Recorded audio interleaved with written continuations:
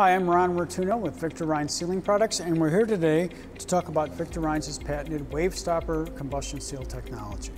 Wave Stopper can be thought of as a series of embossed beads that surround the combustion opening.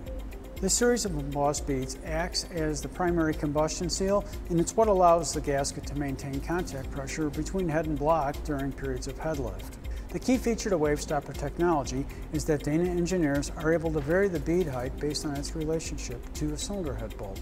That means much more even loading around the combustion opening. And that translates into less bore distortion. Dana wave stopper technology is available for a wide variety of passenger car and light duty diesel applications. Did you know that each Victor Reinz gasket set contains all of the components required to complete the repair? For more information, check us out at victorreinz.us.